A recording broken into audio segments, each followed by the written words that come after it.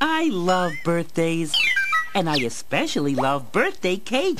My favorite part is the yummy chocolate icing. Or maybe it's those pretty pink flowers. Well, one thing is for sure. I love blowing out the candles. Happy birthday! Someone's celebrating a birthday on Blue's Clues. Let's see who. On Nick Jr. Hi there, Face here. And it's time to say goodbye. So, here's my very, very short goodbye song. Bye bye, goodbye. Bye bye, goodbye. So long, see you later, on Nick Jr.